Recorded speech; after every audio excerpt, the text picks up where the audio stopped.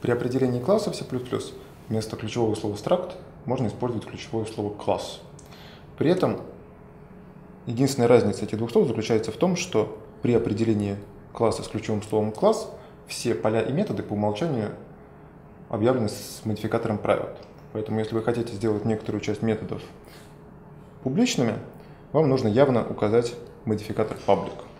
Соответственно, в данном описании класса int_array у него есть секция, состоящая из публичного конструктора, публичного деструктора и двух публичных методов get и size, и двух приватных полей, поле size, поле data.